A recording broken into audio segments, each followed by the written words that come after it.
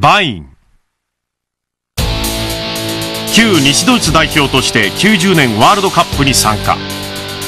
一撃必殺のスルーパスを武器とする左足のテクニシャン。スピード豊かなレッズのフォワード陣を自在に操り敵の急所を突くラストパスを次々と繰り出した。今や J リーグの強豪となったレッズの躍進を支えたプレーヤーとして忘れることのできない名選手だ。